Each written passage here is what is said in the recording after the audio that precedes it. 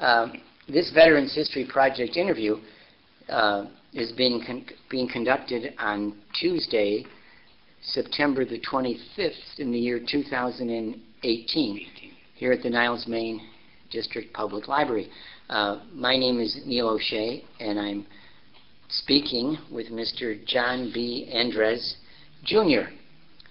Mr. Andres was born on December the 23rd, 1947, and now lives in Chicago. Chicago, Although I understand his daughter has just moved to, right. Just moved to Niles. moved to Niles. Uh, and uh, Mr. Andres learned of the Veterans History Project. Through our veteran group at Dunkin' Donuts, which meets every Tuesday at Dunkin' Donuts here in Niles. And um, Mr. Uh, Andrews has not only kindly consented to be interviewed, but he's a patient man because he, uh, he was among the first people to respond uh, to our invitation to interview for the Veterans History Project.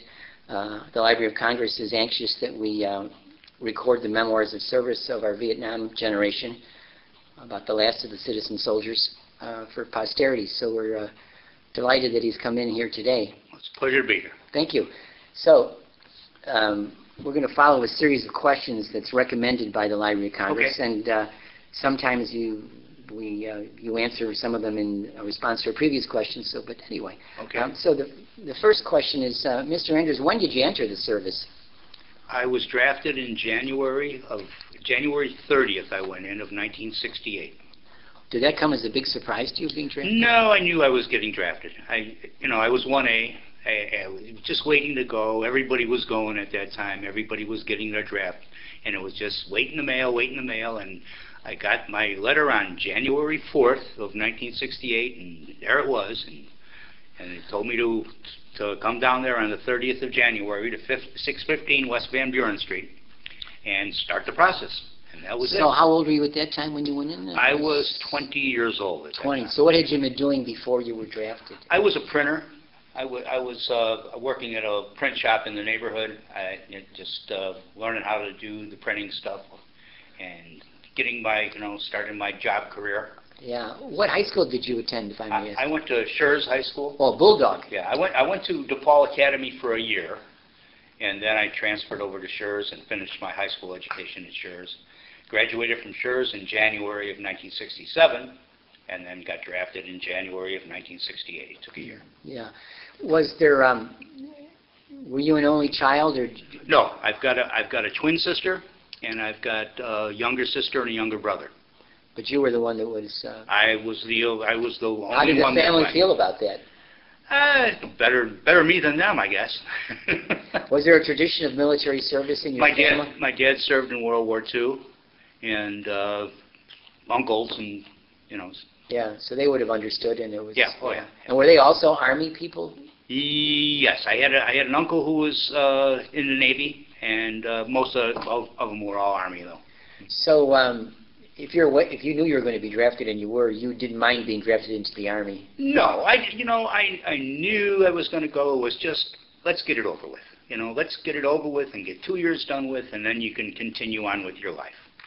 So what were your first days like in the, in the Army?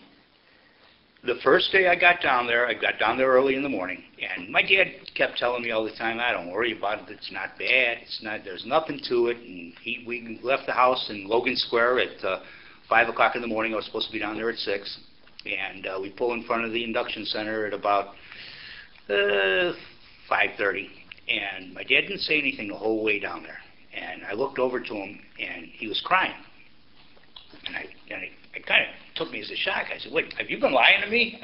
what, what am I getting myself into here?" And he says, "Just go ahead and do it." He says, "Don't volunteer for nothing." He says, just do your job." That that was his words to me. I got out of the car and I went into the induction center. I got into the induction center. My last name began with an A. I was processed right away, and from six o'clock in the morning until seven o'clock that night, I dumped the urine samples in the sink all day long. That was my my first thing, first day in the army, and I I'm going, ah, boy, this is not a good start. I don't like this already. But uh, it was uh, it was quite a day. It was quite a day. So at this time, um, Things are hot in Vietnam. Oh yeah, yeah. It, it was uh, it was Viet, uh, Tet had just started. Did not did, did hadn't started yet. I know, this was the the thirtieth. Uh, Tet was just starting up there, but there were no cell phones at that time, no news. I didn't hear any news about it. I didn't know what was going on. And we left we left the induction center that night. We all got on a bus, and it was a it was a January January 30th. It was not it was not real cold. It was a rainy, overcast day. Yeah. And we they took us out to the airport to O'Hare, and we got on an airplane and flew to St. Louis, which was, you know, hour 45 minute flight. And got off in St. Louis, and then we got on a bus, and then that took us to Fort Leonard Wood, Missouri.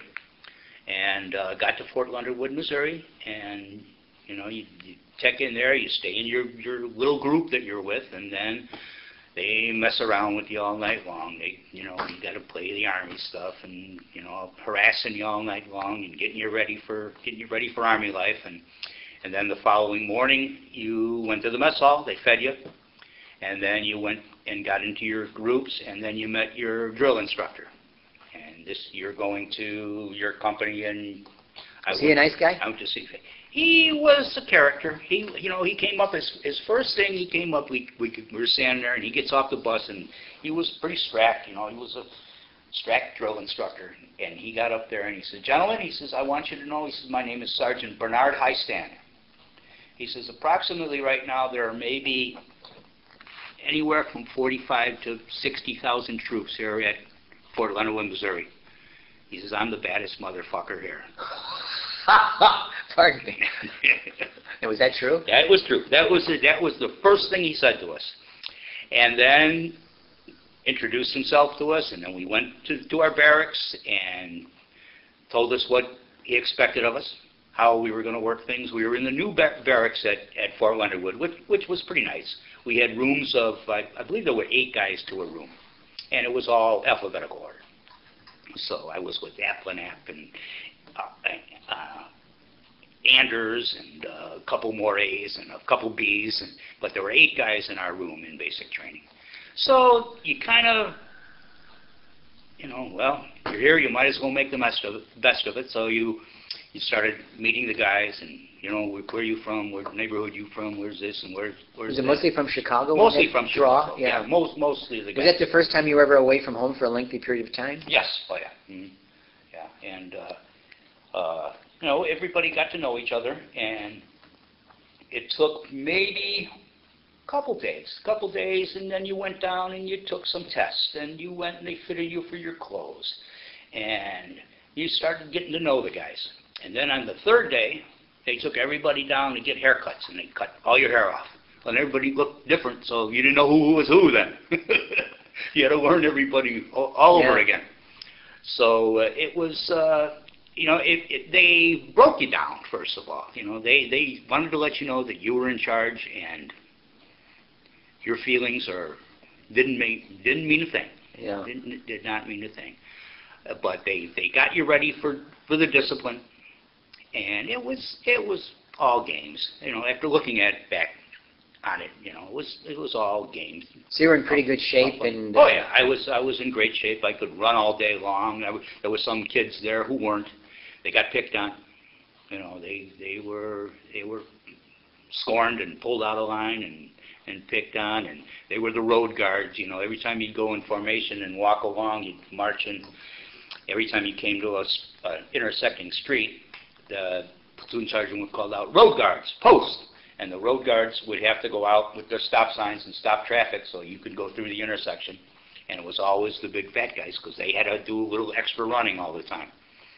So, but uh, yeah, you learn to live with it, and uh, uh, it, the weather was. Missouri was cool, not as cold as Chicago in January, but it but it was uh, it was cool. Is that basic training? Is that six weeks or? That was six weeks, yeah. hmm That was six weeks, and that was just your get used to Army life. It had nothing to do what you were going to do later on. You were, after basic training, then you were picked on, I don't know how they picked you on if you were going to go to artillery, if you were going to go to infantry, if you were going to go I'm to always wondering about corps. that. Yeah, it was I, it was a random crapshoot, I guess, you know. And uh, forget, I'll never forget the night it came down when we were getting ready to find out what our MOS was. MOS meant your military op- op- occupational service. Uh, first, first, first thing that came down, they read off the infantry guys, guys going to infantry. I wasn't on the list. Did that feel good? Oh my God, I was, I was, I was in heaven. You know, I was, I was, holy smokes! I didn't, I, I went down to the PX. I stood in line at the, at the PX for an hour to use the telephone, and I called home and I, and I told my mom and dad, I, I said I didn't get picked for the infantry. I, I, I, I missed it. They, I didn't get, they didn't call my name.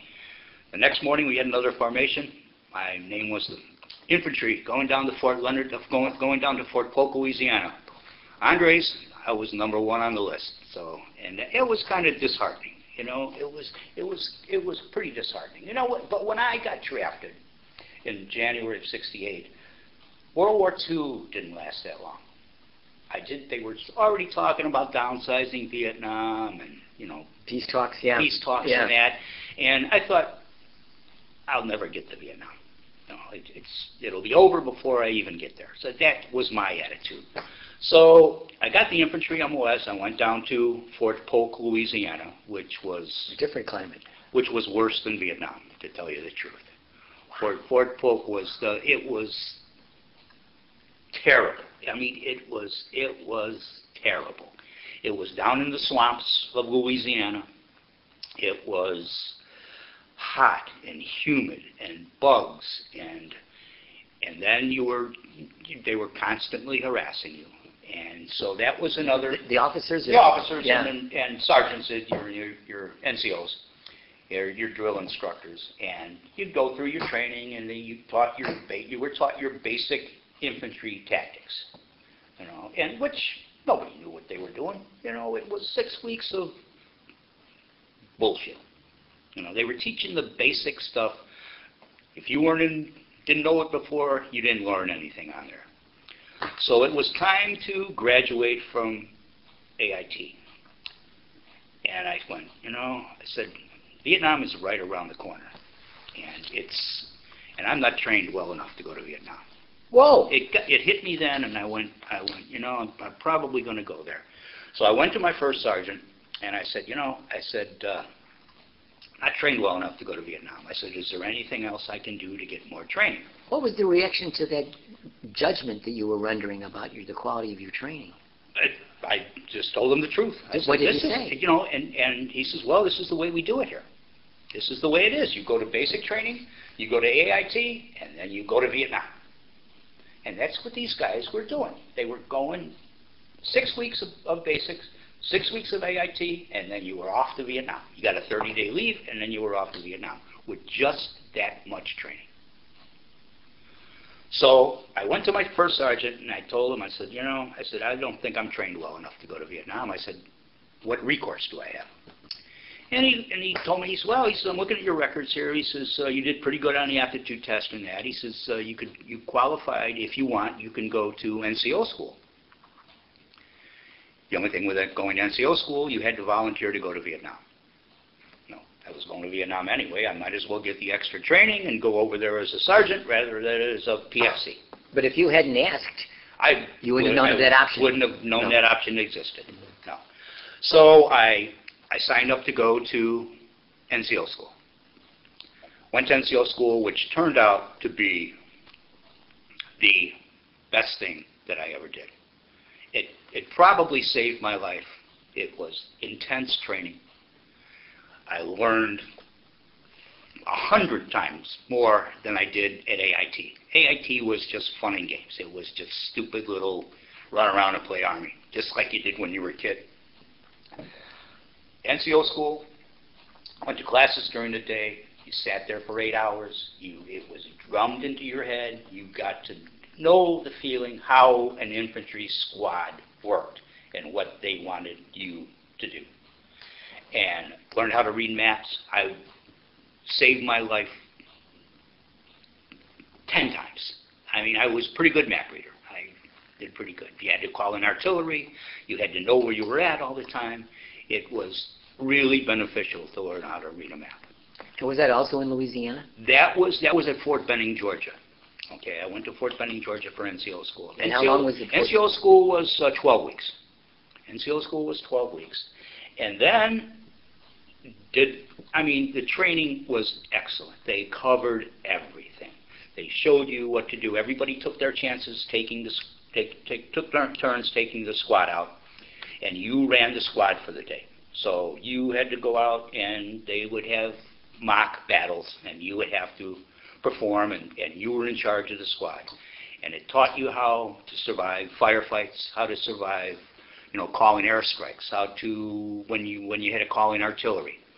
Uh, it, it was intense training. It was, it was intense training. And I think that if everybody would have had that much training, there wouldn't be 65,000 names on that wall. Wow. I mean, it was, Because a thought was occurring to me, with, with your experience at officers, or the NCO training, if you could take in some of those lessons and build them into the training for the, for your soldiers, exactly. whether it would have I mean, improved these- performance, These kids yeah. were going over there with not knowing anything. Yeah. Not knowing. And when you got to Vietnam, you were nothing. You were a, an FNG. All right? I didn't care about you. If, if you got killed in the first FNG is effing no good? fucking new guy. Mm. Okay? And if, if you got killed the first two days, first three days, you were lucky you got out of it now. That's the way everybody felt. Nobody came up to really be your friend or anything. So, when you're in, when you're, you complete the, the three months in Fort Benning, Fort Benning, right? is that where you're assigned to the airborne, airborne? We, the day we graduated from NCO school, which was 50 years ago yesterday, Wow. we had a formation out there, and the guys from airborne school were standing out there. And guy came up there and he got up and he says, "Okay," he says, "This is it." He says, "Anybody want to go to jump school? Stand in this line over here." He says, "If not, this is your last chance." So I'm standing there. A couple guys came up to me. Come on, let's, let's go to jump school. I, are you guys crazy? Are you are you nuts? He go, come on, let's go to let's go to jump school. He says, we've been together this long. You're not going to turn your back on us now. You're not leaving us now. Come on, let's go to jump school. So I, I, I you know, my first thought was, well, you know, if, if I can luck out and maybe break an ankle, break a leg, that'll keep me out of Vietnam even longer. I was only in for two years. I'm already spending a year in training. So the longer I can put Vietnam off, the better. But it never worked out. But by now then, Vietnam is looming Oh, larger Vietnam and larger. right You're- there. you're- Vietnam Now you uh, know that this is, I'm, I'm on people my are way to getting Vietnam. I'm, yes, up I'm on my way to Vietnam. I, I knew then the Tet Offensive yeah. that the war was picking up. But this idea that you're NFG when you get, you know, right. did you know that before you got to Vietnam, or you just sent No, it the no, first or second day? Yeah. do that afterwards. yeah. But but that wasn't so much the case in the unit that I was assigned to. Uh, when I when we we went to we went to uh, finished NCO school, then we went to then we went to uh, jump school. And that was, And jump school was three weeks. and that was in, That was in Fort Benning, Georgia. Also. In fact, Fort Benning, Georgia, jump school was a mile away from NCO school. And at that time, you got you, you got jump pay, you got uh, travel pay. You got six cents a mile from your where you're going jump pay. This was this is a, a United States Treasury Department check for six. for six cents. That was my travel pay to go from NCO school to jump school. the Army, beautiful. I never cashed it. That's No, why the no, economy is yeah. so screwed up. Yeah. So, so I got to my got to my jump unit, and again we were all together. Jump school was a little tougher. Jump school, the physical training was it was intense physical training. First week was ground week. First week was PT, running, and PT, and running, and PT, and running. PT being physical training. Physical training. That's all you did. That was it. The second week was tower week. Tower week, they taught you, you went down and you did mock towers. They showed you how to exit an airplane, how to fall and roll, do PLFs, parachute landing falls. Taught you how to use your five points of contact. You, you hit with the balls of your feet, with your, uh, with this, uh, your calf, roll onto your hip, up to your side, onto your shoulder, and then up on your feet again.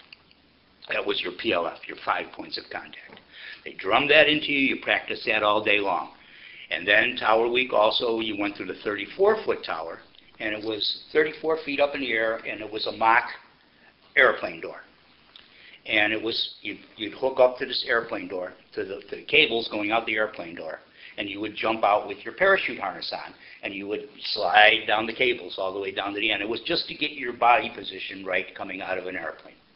Because you had to have your body, because when the old prop propeller-driven airplanes that they were using at the time, if you came out all helter-skelter, the propeller, propeller blast would catch you and flip you all around, and then when your parachute deployed, you'd get your feet caught in the, in the, in the risers, and, and you'd get all tangled up, and that's how guys got hurt.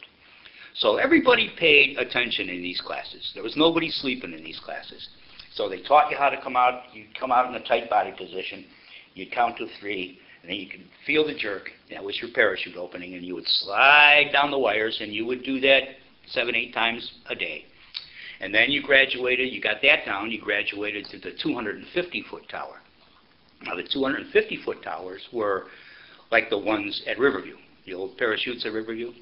But these were, you went to an actual parachute, and the thing came down and, and picked you up on the parachute, and it pulled you up. And unlike Riverview, you were not, when it hit the top, you weren't tethered to anything.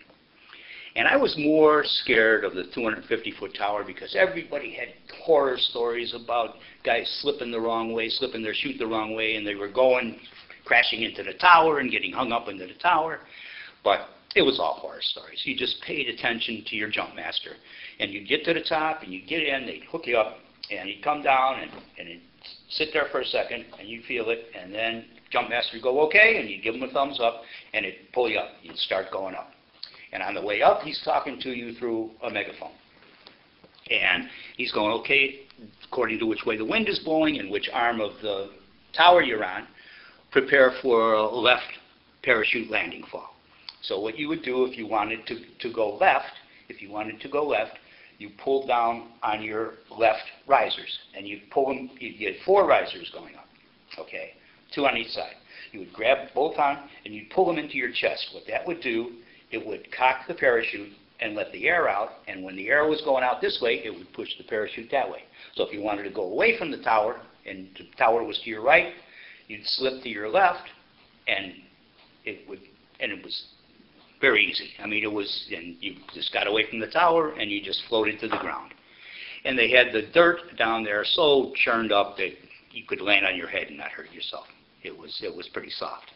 So that was just to get you used to From a height. being in an Yeah, actual parachute. Yeah, And that was, I did that maybe twice. I don't think it was any more than that. And then the third week was jump week. The fir- on Monday morning, you got up and uh, it was go down to the airfield, get your parachute. You went you went into a big, big. They had a big room. It was a, a big like Quonset hut, and they had tables up that were maybe were twice as long as this one here, and they were all packed with parachutes. And you would go through and grab your parachute. So you'd grab your parachute and you'd grab your reserve. And then you'd walk out, you'd run to the end and walk out the door. And at the end of the door, going out the door, they had a big sign up there and it said, uh, our work is fully guaranteed. If it doesn't work, bring it back. that's what, that's what it said. So the, the first day, we- then we got your parachute, and you got into a cattle truck. They took you out to the airport. You got to the airport, the, you we were jumping C-119s, the old flying boxcars at the time. And they were out there all revved up, and then, you know, your jump master takes care of you, you're, you're putting your harness on, you're putting your parachutes on and everything, and, and you got your static line, these are all static line jumps, and you're, you're holding your static line, and it was time to get on the aircraft.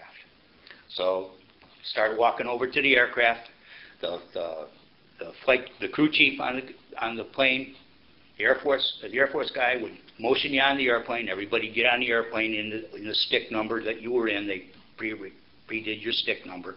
They called it a stick, every, every jump. So there were maybe, maybe 20 guys on the outboard, 20 guys on the inboard, 20 guys on the inboard, 20 guys on the outboard, on each side of the plane.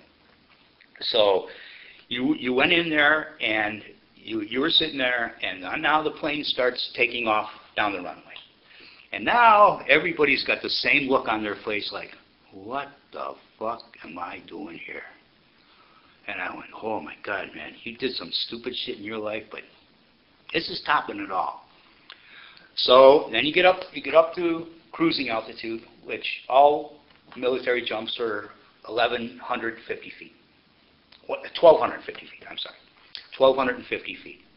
So you get up, jump master stands up, and they open the, the doors, on the jump doors on the side. You can see the outside of the plane then. And, and uh, jump master gets up and he says, okay, uh, outside of the plane, hook up. And the cable running across the plane, you take your static line and you hook up to the static line. You hook your cable, your static line onto the cable. And then turn to the right, you turn to the back of the airplane, and uh, it was uh, uh, check equipment. So you start checking your equipment, make sure you're hooked into the cable, make sure your parachute's on right, make sure everything's done. The guy behind you is checking the back of you, your main parachute and everything. And then his next command is sound off with equipment check. And then it's okay, okay, okay. So everybody's all checked off on that. And then you're, you're the first guy in line. The jump master goes, okay, number one, stand in the door. And then the first guy goes over and stands in the door. And then you sit there and wait for the jump command. And then you're standing there, and then the whole world's going by, you know, and you're in this little door. And then his command comes out, jump.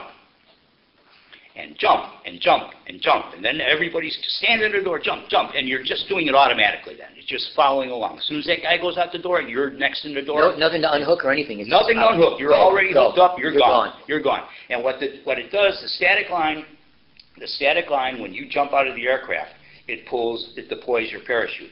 The static line stays in the airplane. It deploys your parachute. So when you get, I think it's 30 feet. When you get 30 feet away from the aircraft, pops your chute out. And then it, it always you went out in a tight body position and you went with your knees together, your feet pointed down, and you would jump out and you would start coming back. You'd start floating back like this, and you could see the aircraft, and then just about that time, your chute would deploy and it would pop you, and you could feel the pop. You know, and then you, the first thing you check your static lines, make sure they're not twisted, make sure your parachute's deployed, i- uh, is fully deployed, and, uh, you know, there were guys, and then again, there's guys on the ground talking to you through everything, okay? And, and, and it was for, first couple of jumps, it was, um, you know, okay, guy with, guy with the malfunction, pull your reserve. Everybody pull their reserve because they were, they were scared to look, a lot of guys, you know? It, it was, it was, there'd be reserves popping all over the place. It was, the rough part about pulling your reserve, a lot of times it would get tangled in your main chute, you know, so you'd have to pull it down and throw it out. But as long as your main chute was open, you were good. What's the reserve? It's a backup? It's your backup parachute. That, Okay. that, that was right here on your And you would activate that if You would have to activate nothing automatically tied Right, into right. that? You- Okay. Yeah, it had, it had the ripcord on it. Yeah, Ripcord. Right. You would, you would have to pull that to activate your reserve. But as long as your main chute was open, you were good to go. And then the guy on the ground would, would tell you, you, they had smoke down there so you could see which way the wind was blowing. So you would slip in the opposite direction. And what that would do, that would slow down your airspeed. And because you were, you were going into the wind, you would, you would slip into the wind, which would slow down your airspeed. And all of my jumps, I could have stood up. But you had to fall down. You had to do a PLF. So now, after you did your first jump and you got on the ground, and it was, wow, this is pretty cool. So they took you right out and you did your second jump that day. And then you, I think it was a day off, and then Wednesday, you did your two other jumps. Now it's starting to get a little, you know, then you're starting to think a little bit more. You, I can get hurt doing this. So they, as you're going along there, it gets tougher and tougher and tougher. And on the fifth day, the last day, you did your equipment jump. You had all your equipment with you, your rucksack, your rifle, and you, you had all that stuff, and, and you could hardly move with all this stuff on. And it was such a relief to get out of that aircraft, just to get all this weight off you, that that was, that was the, the blessing for that, for that jump. But then as soon as you got out there, and as soon as those chutes deployed, everybody was yelling at everybody, airborne, I'm airborne, I did it, I passed this thing. You know, so that was the, the accomplishment. That was, that was pretty cool. And I imagine that's, in- when you look back at the accomplishments in your life, if you had to name accomplishments in Oh, your life, that's what- that's probably at the top. A number one. Oh, wow. Yeah, Yeah, A, A yeah, number one. That yeah. was, you know, jumps, graduated from jump school. When they put those, when they put the silver wings on your chest, that was pretty special. Yeah. Didn't realize it till then, but that was Here- a very special moment. Here's a silly question. Um, it doesn't matter how tall you are or what your weight is. That's not a criterion for being a, a, an airborne, right? No, mm-mm. No, no. No, but, uh, but there was, on my second jump, my second jump, I was the second guy in the slick. Okay, I was the second guy in the slip. And I jumped out of the airplane, and everybody else on the plane is, I'm, I'm up, I got stuck in a, like an air pocket. Oh. right. So I'm, I'm hanging up there, and the whole damn aircraft is down below me, and I'm going, oh my God, I, you know, I'm, I'm not heavy enough to bring this thing down. but finally, I got out of this air pocket and went down. And it was no problem, and I, and my jump master told me that's what happened. You know, but uh, So that's air pocket. air pocket. But it was it, it all my all all five jumps that I did in jump school were no problem at all. I did I used my training, did what they told me to do, and everything worked out fine. So then now you're a paratrooper. You know, now you can do your strutting around a little bit. You can you can strut around a little bit. And you got bit. the silver. silver wings, Silver the wings. basic parachute wings, which was Then you got to come home then for a little bit. then I, I got to got to come home for for a uh, leave, and then because I was an NCO graduate, now I had to go do my on-the-job training.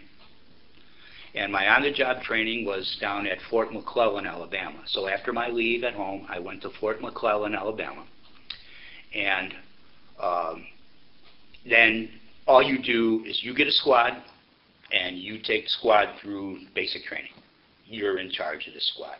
So for another six weeks, that's what I did down there. And did you follow the, the manual for the Yeah, training, I- or did you try to build No, no, any no. of I, your insights? I, I did No. pretty good, and, and I just I went by the book. Okay. I went by the book, and you you know you'd go out to the rifle range, you'd show them how to lock and load, how to how to uh, sight in on a target, how to do that. You go Were out. these M14s? M14s Yeah. at that time, and and you'd go out it, you'd go out and how to set up an ambush. Okay, you'd take your you take your squad out and you'd set up an ambush, and how to how to if you got ambushed, how to react at an ambush, and just using all of those infantry tactics. I mean, I never thought that infantry you had to go to school to do it. I thought it was just a firefight and just shoot 'em up, bang bang. Th- th- There's methods to it. So then I finished uh, Fort McClellan, Alabama, and now I, this was just about, just about a little, about a year into the Yeah. army, just about a year into the army. So then I got a, a leave, and I got a, a month leave to come home to go before I went to Vietnam. So I, I came home, and this was January of 1969, and January of '69, I got to uh, now all the, now in the meantime, all this that was going on when I was in basic and AIT, Martin Luther King was assassinated, Bobby Kennedy was assassinated, turmoil was Convention, was Chicago, everywhere. yeah. Chicago Convention was going on, and this thing called Vietnam was loom- looming over my head. I'm going to war. And the night that I went, uh, the night that I left for Vietnam, uh, I had my buddies take me to the airport. I didn't want to have my mom and dad take me because I didn't want to go through that. But I was standing, we had an apartment over on uh, Spaulding Avenue in Logan Square. And I'm standing in front of the mirror and I'm tying my tie. And I said, how do you do this? How do you, how do you, how do you go to your mom and say, Maybe. you know, I'm going to war. I said, you know, this is it. And so I went out and I said, you know, I said, okay. I said, I'm out of here. I said, I'll, I'll see you guys. And my mom goes, be careful, you know. So, so then I get to Vietnam, and I went to, I went from, I went from Chicago, I went to there to Oakland, California, Oakland Army Base there. So I got, I, I got to uh, San Francisco the first night. I spent the first night in San Francisco. Next day I went to the Air, Army Base in Oakland, and you check in, and okay, so you, your plane is leaving tomorrow at 6 a.m. You're flying to Vietnam. So got on a commercial airline, and you take off for the Netherlands. the Neverland, you know, and, and we, we stopped first in Hawaii, and I, I went over there on, uh, on Flying Tiger Airlines. It was, I, I'll never forget it. It was Flying Tiger Airlines, and it was all, you know, just all guys going to Vietnam. It was pretty quiet. It was pretty quiet, and our second stop was in uh, Japan, and then we stopped in Guam. And then the next stop was Bien Hoa Air Base in Vietnam. Now, we, when we came into Vietnam, you know, we, we you know, there, you could drop a pin on the plane. Nobody said a word, you know. And okay, gentlemen, welcome to Vietnam. And and the plane landed, and they came out, and you know, they I got you on these jeeps and everything, and the jeeps were had chicken wire all over them, so they couldn't throw grenades in there, eh, which was they were playing games with us. You know, they were just fucking with you. That, you know, it, it probably wasn't very dangerous there, but they made you think like you were at the war. So now they took you over to LBJ, which was uh, uh, the 22nd Replacement Battalion at, at Long Binh.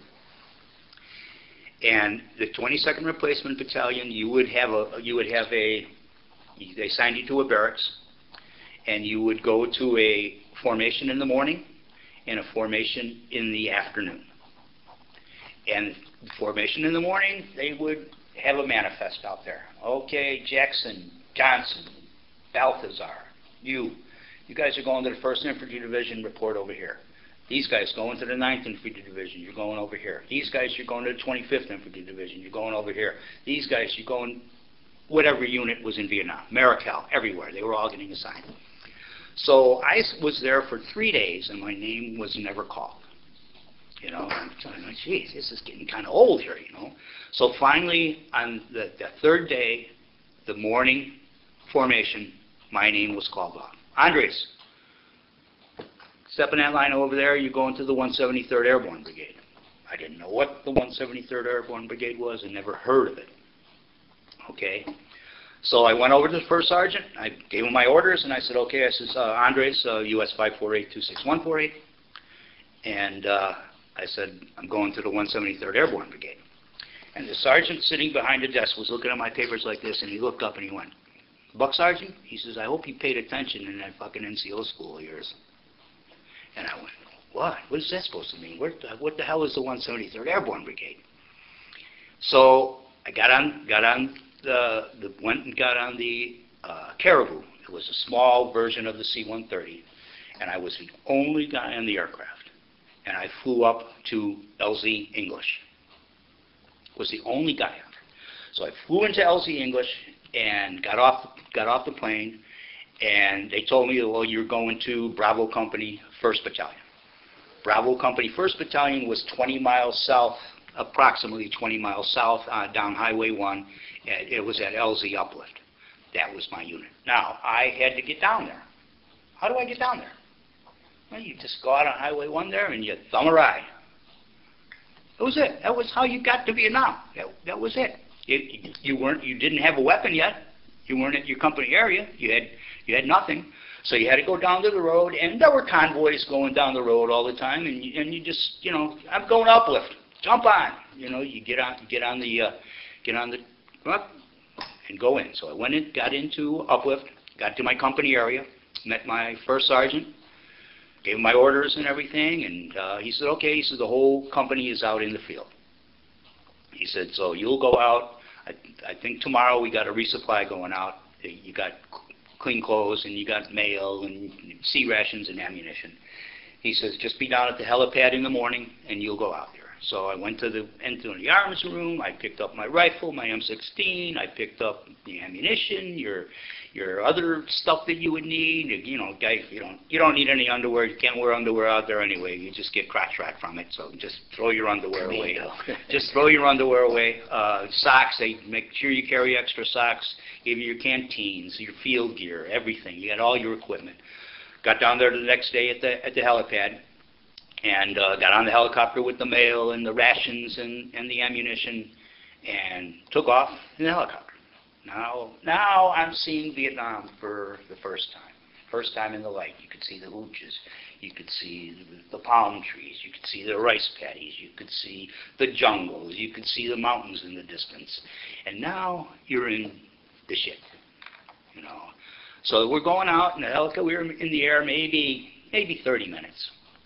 And we start coming down, losing altitude, and you can see po- uh, smoke in the distance. And it was purple smoke, and the smoke was the guide the helicopter in. And then we're getting over, and you could see all the guys out there waiting for the helicopters to come in. You know, they, all the, the whole company was there. So helicopter comes in, it lands down there, and one of the guys bringing the helicopter in, I was in NCO school with. I got off the helicopter, and right away I had a friend. I knew somebody, which was, I can't tell you what, how, what the, how that made me feel. You know, so we went over, renewed our friendship, blah blah blah, and then I got assigned to my to second platoon. I met my lieutenant. I met the guy who I was replacing. I was in second squad, and the guy who I was replacing was uh, he was from somewhere down south, Tennessee or Mississippi or something. His name was James Pigue, P-I-G-U-E. So you know, you get together, you get to know the guys. Okay, this is Joe, blah blah blah blah. This guy's from Tennessee. This guy's from New Jersey. This guy, and a couple guys you hit it off with real quick, and and that, and uh, then you settle down for the night in your logger site, and you spend your first night in the field. Are you in a tent or a? No, no, you, we never had nothing. We never had we, nothing. We had a poncho liner. Mm. We had our poncho liner. That was it. We had an air mattress. Never slept on an air mattress because they made noise. When you were in the logger site in a big company area, you could put your air mattress. But even though you're airborne, you're not anywhere near a plane or a no, you, field. you did. You did not. There were no combat jumps made in. Oh, there was one combat jump made in Vietnam. That was in 1967 by the 173rd. But it was useless because the jungle. It was too much jungle. It was too. The terrain wasn't set up for airborne operations. But to go to the 173rd, you had to remain on jump status. So I got paid $55 extra a month and never have to worry about jumping. So one of the first days we went out, you'd go out and learn how it worked in Vietnam. So we were on patrol. We took this, the second platoon, went out on patrol, and my squad was leading it. And I'm now paying attention to this guy who's leaving in a few days. He's ready to go home. I'm taking over his squad. So I'm learning from him. I'm trying This is Officer Pigue. This is Pigue, Sergeant Pigue. Mhm. Yeah. And I'm learning from him. So we came upon, we walked into a village. And we walked into a village, and there, the village was probably, I don't know, maybe, maybe 100 meters long. And at the end of the village, there were guys down there in uniforms. You know, and I, I hey, look, there's some GIs down there. They weren't GIs, they were North Vietnamese soldiers. So I, and all of a sudden, everybody starts shooting and everything, and they took off and they were gone because I gave them the warning. You know, they knew we were there. And uh, uh, this one guy comes up to me, a guy from New Jersey, and uh, he was uh, uh, Sergeant Bruce Coley. But but he was spec four at the time. Coley comes up to me, and he goes, Andres, he goes, you better stick around with me for a little while. You ain't never going to see Chicago. So, you know, I they only told me they wore black pajamas. I didn't know they had uniforms. You know, so that was my yeah, regular army. That was yeah. my indoctrination into my first patrol in Vietnam. And then a couple more patrols we went out, we walked into a village and we found a cache of weapons. And we found some uh, SKSs and some AK-47s, SKSs are. our, our Soviet uh, single-shot rifles, Okay. like a carbine. Mm. And uh, we found some weapons, and we came up on another one. We had a tunnel complex, and in the tunnel complex there was a piece of ordnance that was buried into the ground. So I called to the rear, and I called to my lieutenant, and I says, you know, I said, we got something up here, and, and I don't know what it is. It could be a 500-pound bomb, for all I know. I can't see the whole thing. And he says, oh, wait a minute. He says, we'll come out there. And so he came out, and he concurred with me. He says, ah, he said, we better not fuck with this. He says, let's call in the EOD team. So they called in the EOD team, and there was they had the tunnel, tunnel complex. The EOD team came out, and they were putting down in the tunnels to render them useless to the Viet Cong or the NVA. They were putting 55-gallon drums of CS gas, powdered CS gas, down in. And then they would put the charges in there and everything, and they had all of this tunnel complex all filled up. It was probably maybe maybe a block in area. And uh, then they called us off off to the back, they come out there, they did the whole thing, you know, fire in a hole, fire in a hole, and bam, they hit the, the, the charge on this thing, and it was an explosion like I've never heard before. The ground shook. And then I look up, and there was shit everywhere in the air. I mean, there was pieces of rocks and, and barrels, these 55-gallon barrels were flying through the air, and I went, holy shit, and I'm, I hid behind this tree, and then I hear this guy yelling. And I turned him around, and it was Pigue. And Pigue got hit in the right leg in his calf with a piece of metal off of a 55-gallon drum. And it hit him in the top of his calf, and it peeled his whole calf off. All right? And it, was, and it just flopped open like a piece of meat. So I crawled over to him, and I put it back on him, and I grabbed his, his first aid bandage, and I tightened it up, and just then the wind shifted, and now we start getting hit with the gas. So everybody's crying. I, I grabbed them, I threw them over my shoulder, and we just started running. You didn't know where you were going, just get out of that gas. So we finally got far enough away for the gas was ineffective. And we sat down, washed our eyes out, and Pigue had all this gas, uh, all this powdered CS in that open wound, and he was dying. So we called in, uh, called in a dust-off, came out and got him and took him away, and that was the last time I ever seen, I've ever seen him. That was, he was gone. So now it was my squad. Now, now The, I, the, um, I had the squad. the ordnance or the shell or the mine, whatever it was that blew up, that you came across. Yeah. Was that an American? It was it probably be an American, yeah. And they- and that was- they, They were using that for the tunnel. They, they used the it for a booby trap. They, no, Oh, they they- used it for a booby trap. That was it was a booby trap at one of the beginnings of the tunnel that it was, you know, pressure detonated. It, it was probably a 105 round, but But you didn't know that it I was didn't know there. that. I, you know, I'm not, a, I'm not an ordnance expert. All I knew it was a, was a artil- artillery round, or it could have been bigger. It could have been a 500 pound bomb, for all I. I wasn't going to take any chances with it. So then, the next day, you took your patrol out again, and the way we did it in the 173rd, you went out, your squad was five-man. You had a five-man squad. All right, it was you, it was your RTO, your radio telephone you, operator, you had a radio with you all the time. You had a grenadier who carried the M79 machine gun, and you had two riflemen. And you went out and you did patrols. Now, if you had the morning, if you had, if you had a patrol in the morning, you were take your patrol out in the morning and just patrol the area. They you went talk to the lieutenant in the morning, and this is where we want you to take your patrol. You looked it on the map. You had your reference points on your map, so you knew where to call in fire from, and you to pick out your reference points. And you would take your patrol out in the morning, and if you didn't hit anything or nothing came about it, then you'd come back into the logger site in the afternoon where the platoon was at. You'd come in, and the other squad then would have the afternoon patrol. And then that night, which meant that night you had ambush. Ambush, I hated ambush. I just hated ambush. Am, ambush screwed up my whole day. It was you would go out, you would go out on ambush. You would walk out at about just as it was started getting dark at dusk, and you would go out with your five guys. Your five guys. You would go out and you would pick your ambush spot. You would try to look for a heavily traveled trail.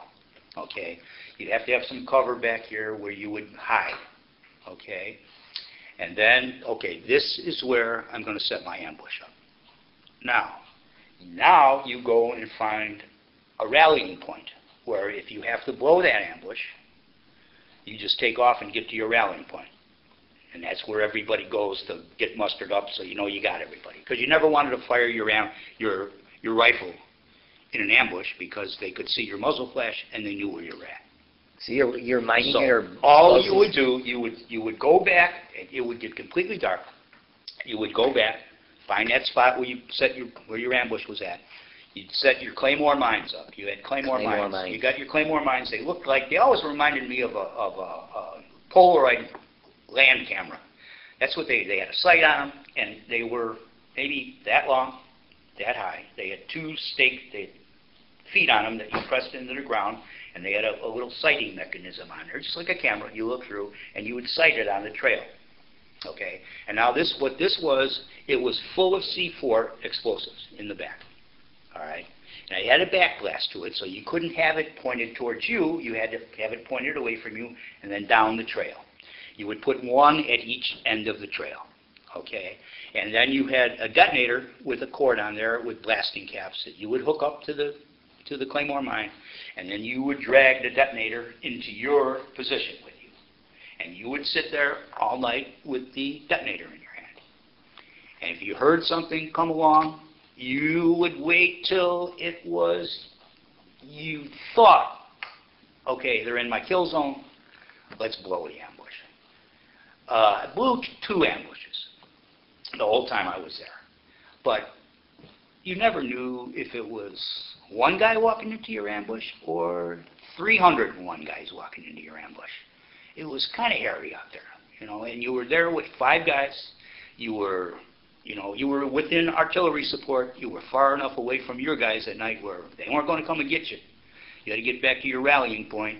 If you blew that ambush, you got back to your rallying point, get you guys together, and then try. Didn't want to go back into the logger site at night because these guys fire you up. They're all, you know, out there waiting for somebody to come in anyway. So you'd have to just lay out there all night long until you could come back in in the morning and let them know that you're coming coming back in.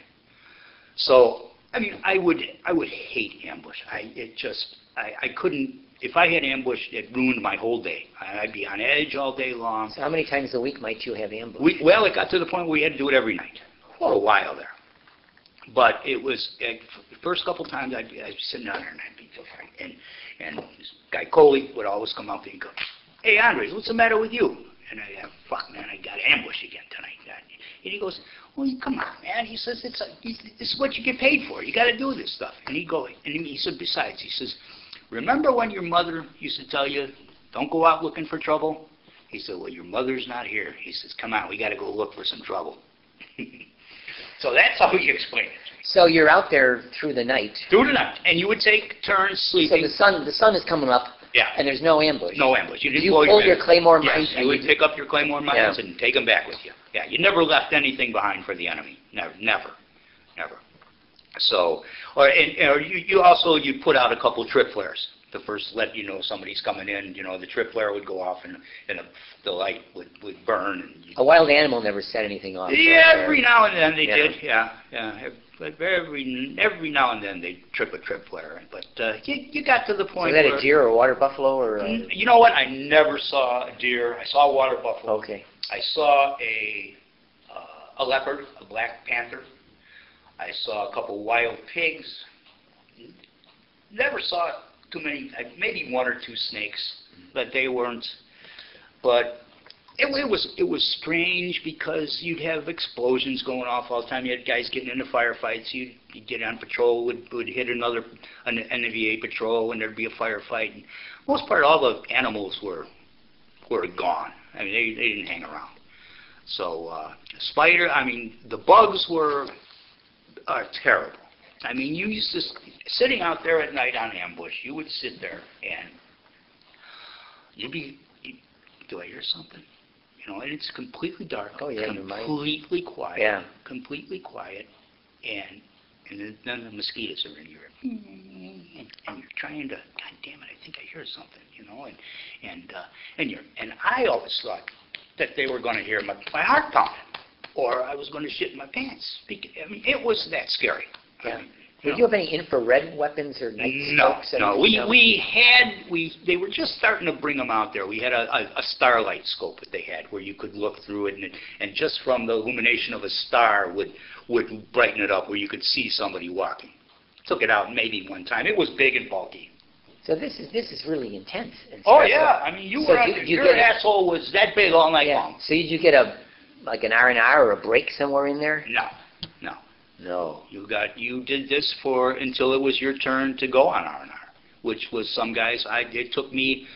Uh, I went on R and R in September, so it was nine months before I got on R and Yeah. R. But I we and we were in the bush all the time. We got back to Uplift. They tried to get us back in once a month, where you would go back in and get clean clothes. You would get you know a shower, go get a shower, and otherwise you would clean up Yeah. You'd go into a village, and every village had a had a well in there, so you'd wash up the best you can. It was tough getting washed up. As soon as you washed up, though, that's when the mosquitoes killed you. it was better to stay funky, you know. And besides, they, you, you, nobody used that scented soap because they could smell you. So you would use laundry soap. Laundry soap had no no scent. You didn't use didn't use aftershave lotion. You didn't use. Uh, we had some, a couple guys that smoked a pipe, and pipes were you never smoked a pipe out in the field either because you could smell that well. And we we always kind of refrained from smoking cigarettes also. Now, I, I was a cigarette smoker at the time over there, and and but you learn to do without. Could you get a beer to relax? No, no, we never. We, you, you could get. We had a beer. The beer would come in sometimes. You'd get resupplied every three days. So you'd get mail would come out Does that come in on a helicopter? in, in the helicopter. Mail would come out. Your C rations would come out. Uh, so you're eating C rations. C rations all the time. C rations. Were you losing weight? and lurp rations. No, they were pretty good. Uh-huh. They were. You, you learned to eat pretty well over there. They were, they had lurp rations that they called. They were uh, freeze dried meals, which some of those were pretty. When you say LURP, is that L-U-R-P? LRRP, RP, Long Range Reconnaissance Patrol. And what, it was freeze dried, so all you would do, you would boil water, pour it in the package, and it was meal, they call them MR, MREs now, meals ready to eat. So you just add hot water and, and you got, you, they had, they had spaghetti, they had spaghetti, they had, uh, uh, uh, beef and rice, chicken and rice, chili con carne, which no matter how long you let that soak, them beans never got soft. Never. You could let it soak for two days and the beans never got soft. So guys would be sitting there picking the beans out before they put the water in there. So you got mail then from home every now got, and then. Got and, mail from mail came out every three days. and if you sent And mail you- home, it would you- come. And then your mail would go out on that helicopter. And no uh, censoring or anything. Or no, No. no. And and I used to get quite a bit of mail. I had I had a real good girlfriend back home that she would send me stuff all the time, and uh, you know, sending me a care package with uh, pepperoni in it. And my standing order to my mother was all the time that just send me a bottle of Open Pit barbecue sauce and a raw onion, at least once a month you know, and that, that would supplement my C rations and my lurp rations and dress them up a little bit. I learned to love Tabasco sauce. Uh, they, they had, the, the C rations were just little tin cans, and you'd pop them open, and you'd make a little stove out of, an, uh, out of a, a used up can, and you'd put a little piece of, uh, we had C4, we used the C4 burned real, real, real hot and real bright and C4 would, would boil a canteen cup full of water in like eight seconds. So you would, you would heat up your food, and then they had heat tabs too. Heat tabs were, it was a chemical, it was a tab but about that long, and it was purple. And you'd break off a piece and light it, and you put your canteen cup over there and heat your water up, and that's the way, that was it. That's the way you ate. But everybody was in the same position. Nobody had it any better than you did. You slept in the same mud. You slept. You, you dealt with the same bugs. Uh, was that um, the calamity, the in- injury suffered by um, Sergeant Peak? Pete? Yeah. Was that the worst um, casualty that you? No, no, Pigue. No, Pigue. that was Pigue. No, no. We we got guy. We had a few guys killed. That we had some. You know, you go out and you had. We had. I'd say the year that I was there, the amount of time I spent actually shooting at somebody where they were shooting back at me, maybe 15, 20 minutes. That was it. I mean, you would you would be scared for five days straight and nothing happened, and then just seconds of complete horror for as long as it took until they broke, or until you killed them, or until they broke. But you know, you're on patrol all the time. You would run into a, a squad of them walking along, okay, and then all shit would break loose. Maybe the uniform. Sometimes guys? uniform. Mo- the most of the time we dealt up there with, with was North Vietnamese regulars. We didn't have too many Viet Cong by us. Yeah. were we were up in the mountains in the Central Highlands, and they were coming in from Cambodia and from Yeah. Laos. Were there Monta- Montagnard? Montagnards, we had Montagnards by us too, which were, they were very, very good fighters. They they Yeah. were very. They Was there any pot? Oh yeah, there were. There was. Uh, you could get pot anywhere. So if you were a sergeant, and you saw somebody smoking pot. Did you say anything? No, no. There was a time and a place for everything. Okay. If If that's the pot, if they're smoking pot, that could be a. There was a time and a place for everything, okay? If you wanted to get high, You wait till we get back in the logger site, when everybody's around. You don't do it when you're out in a five-man mm-hmm. unit. You know, I want everybody to be number one. Everybody knew the rules, everybody knew the rules, and those were my rules. You want to smoke pot, you wait to, you know, and I smoked the joint with these guys when we got to the rear. To loosen it up a little bit. I mean, you had to have. Did you ever any, tr- any disciplinary problems with anybody that just, not too much? Mm, couple guys, couple guys. It was winding down, and, and uh, most of the time, it was the black guys, and I couldn't blame them. I mean, you know, if these guys were still getting yeah, dogs sicked on them back home, and they couldn't get jobs, they were dying every day, just like you and me. And there was one incident one time. I had a guy in my squad, and his name was King. And King was down south somewhere. I don't remember actually what it was. Well, King started to become a radical in the 60s there. Wouldn't get a haircut, wanted his afro to grow out, you know. And I, I'd say, King, I said, come on, man, you gotta, gotta get a haircut. He, Fuck, Andre. He says, hey, this, this is the way a black man wears his hair. And I'm a black man. This is the way a black man wears his hair. I said, okay. So this went on for a while, and I kept putting up, and he got worse and worse as we went along. Got a little more vigilante and a little more uh, radical. And uh, so finally, we went back to Uplift one time. You know, so when well, now we're in Uplift, we're in the big secure area, and uh, I went to my first sergeant. First Sergeant Yahtzee was a World War II, uh, World War, World Korean and World War II vet, and now he's in Vietnam. And he was a mountain of a man. This guy was six foot eight. I mean, huge, a huge old, old hardcore paratrooper. And he was an E8. And I went up to him and I said, Top, I said, I'm having trouble with King. I said, man, he's, I said, he's not, he's, you know, he said, oh, this radical bullshit. And he's, and he's, uh, he won't get his hair cut. He's like, I've tried to get him to get his hair cut. He won't get his hair cut. I can't make him get his hair cut. And he goes, uh, okay. He says, bring him over to see me. So I went back to our company area. I said, I said, King, I said, Top wants to see us. Let's go see Top. So okay, so we walked over, walked into Top's office, and you know, and Top goes, "What's the matter, King? I hear you're having problems out there." And he said, "Well," he says, "Sergeant," he says, "this is the way an African man. He says, "This is the way we wear our hair." He says, "And I'm an African man, so this is the way I'm going to wear my hair." And uh, first sergeant looks at him, and he and he backs off like this, and he goes, uh, okay, he says, uh, that's fine. He said, if you want to be an African man, he says, go ahead. You don't have to get a haircut. Now, my jaw dropped. I'm going, holy shit, man, Top's turning his back on me. So he's like, you're dismissed. And I'm going, holy shit. And we start out the door, and just as he gets to the door, Top goes, okay. He says, by the way, he says, he says, if you're going to be an African man, he says, you're going to be an African man 100%.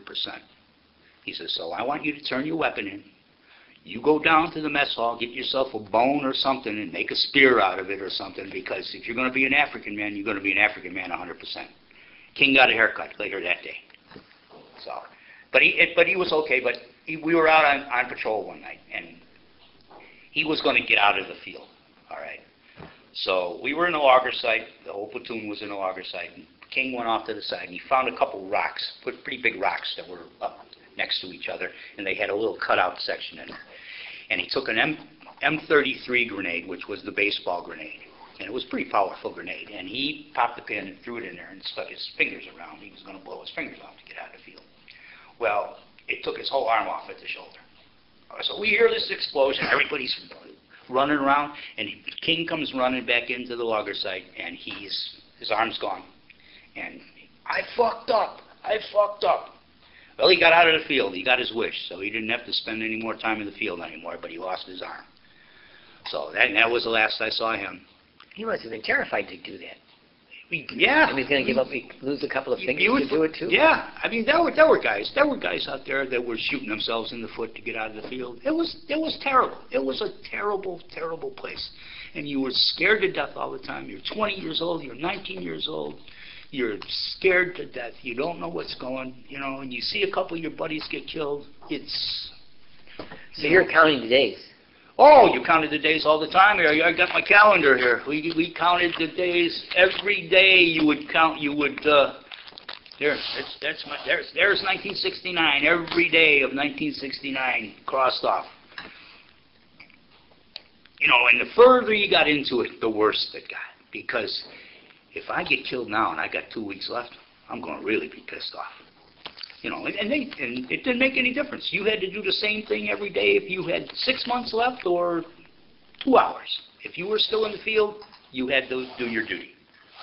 So nine months, then you got a, you got a break. Nine months, I went to uh, Singapore. Now, I was supposed to go to Kuala Lumpur. Kuala Lumpur was having uh, anti-war rallies there. So they decided to send everybody that was going to Kuala Lumpur, okay, you're going, you're going to Singapore. Which, Singapore was a pretty nice place. Singapore was, was, here's, this is my, Singapore, Singapore was a very, I'm glad I went there. I got to see the, uh, this is my boarding pass to go to, to go to Singapore. Airline passenger ticket, baggage check. Now, and then when you got to Singapore, they took, we went to the hotel, I was staying at the, a place called the Serene House. And you'd go in, and then Mama San had all the girls in there, and the guys would be grabbing all the girls and taking off, and I, you know, I didn't want to go get one of them real cutesy cutesy girls, because they probably, they were with 300 guys, I'll take one that was with three guys. So, I'm sitting in the bar that night, and we're, we're sitting in the bar, and these guys all got the girls and took off, and it was me and one other guy in the bar. So I went over there and started talking to him, and, and we had civilian clothes on by this time. And I'm talking to him, and, and uh, I said, come on, you going to get a girl? And he goes, no, he says, I'm just going to sit here and have my beer. He says, that, that, he's, I said, what, what's the matter? You don't, you don't have any money? I said, I'll get you girl. I said, I got some money. I'll give you. I'll give, I'll give you. He said, no, no, no, don't worry about it. He says, okay. Well, anyway, okay. So I went and got my, my girl, and, you know, she was, she was real nice. She was a school teacher. And, you know, I told her, I said, what are you doing this job for? She goes, I got a, I'm a single mom. I've got a son. She goes, this is the only way I can support him. She was very nice. I mean, the, these other cutesy girls were they, they were having these guys spend their money on them. They were buying them dresses and radios and watches, and she never asked me to buy her anything. She was, and she, we did a lot of talking. She spoke perfect English. It was nice to talk to a girl. and She was very nice. So now, fast forward to going back to Vietnam. Now you're going back to Vietnam. You had Is it after a week, or? this is after a week, Mhm. after, after seven days. Seven days in Singapore. And she took me to all the places. She took me to the, all the, she took me to Tiger Balm Gardens, which was, Tiger Balm is that stuff that you, it's a ointment that you put Oh, on. yeah. They sell it here.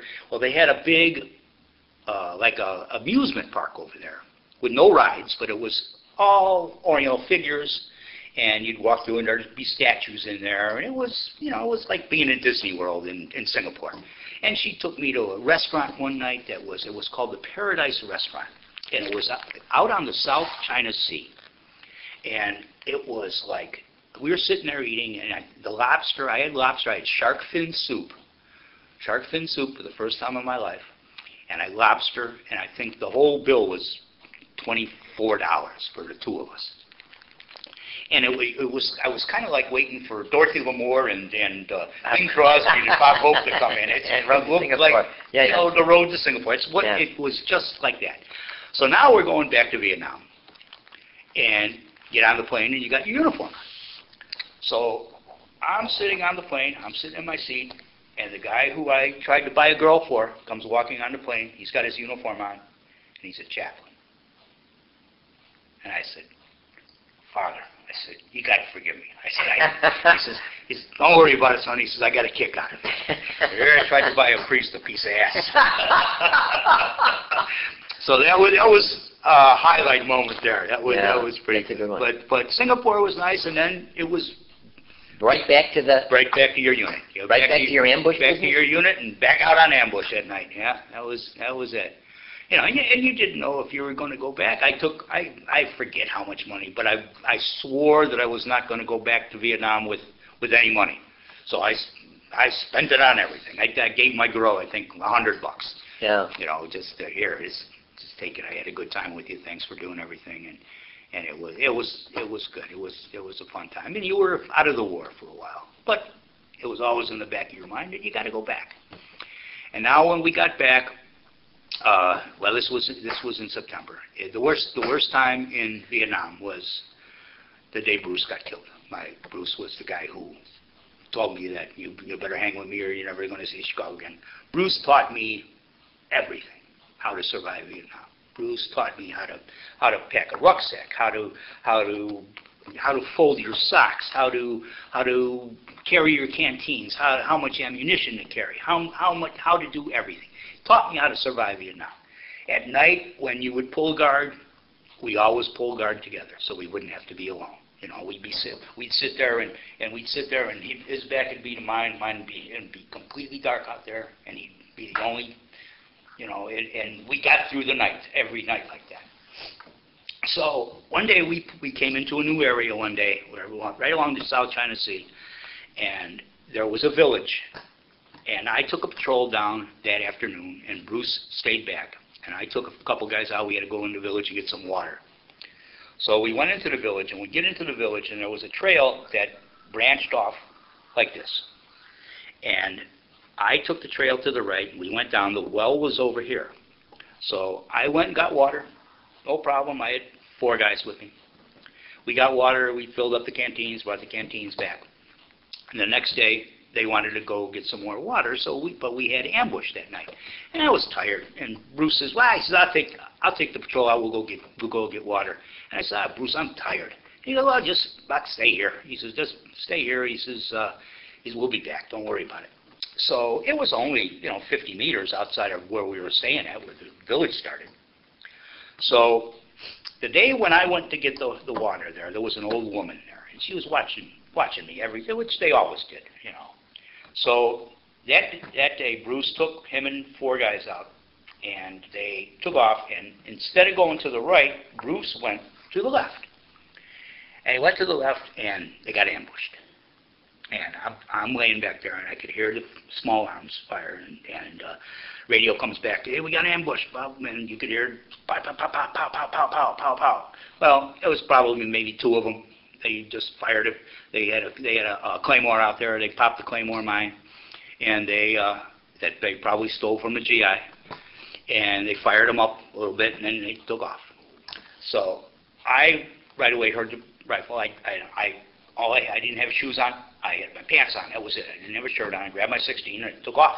Took off running, and I got down there, and I get up to the thing, and, and Smitty from Florida was laying on his stomach when I got up to him, and he had a hole in his back. And uh, and I said, "You okay?" And he goes, "Yeah." He says, "I'm okay." He says, "But you better go check on Coley. Coley was up on point."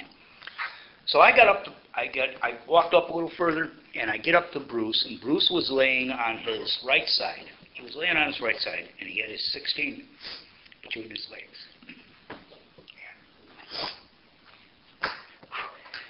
And uh, I, I, he only he only had two months left in Vietnam. And I said, hey, come on. I said, come on, man, you're getting too short for trying to get this ghost shit here, you know. And he didn't say anything to me.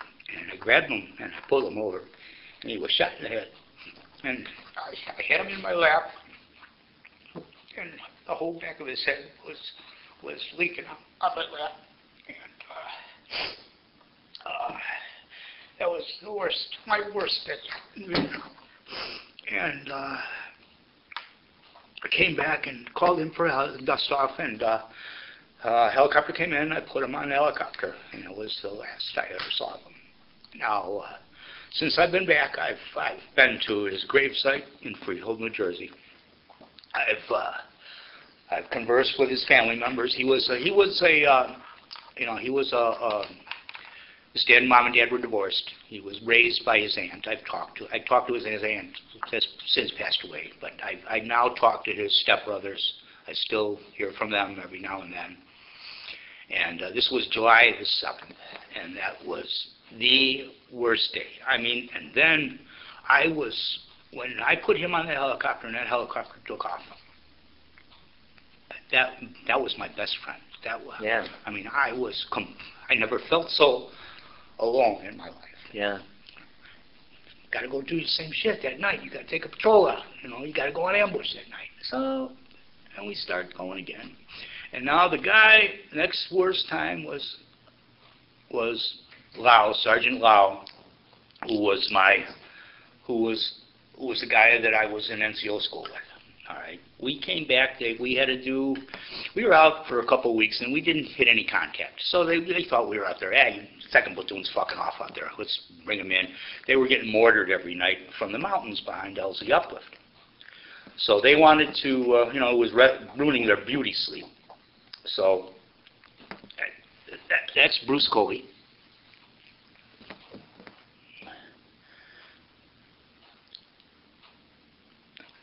That's, that's, that's my buddy. That's, And is that's- that the, the airborne catch on the? that's the one Civic Third Batch, yeah, yeah. And, uh, uh, uh, so we came in, uh, they called us in on Halloween night too, and, uh, you know, we, we had a formation, and they, you know, they told us what was going on. We, we keep getting mortared every night from the mountains back over here. We want you to take second platoon, we want you to go out there and flush these guys out, you know, because we're tired of getting our sleep interrupted at night. So we had a walk about, we left, and we drew straws to see which, uh, which squad was going to push point. All right, so Joel's squad, Joel was in first squad, Joel had first squad, he pushed point. I drew the second shortest straw, I was the second squad back. So we left Uplift at, at midnight. And it was maybe three quarters of a moon. It was enough to, well enough to see with. So we walked across, we had, we had about a quarter of a mile to go to get to the foothills. And we walked over to the foothills of, of the mountains, and we started up the mountains that night. And uh, that's, that's Joe Lau, who I was in NCO school with.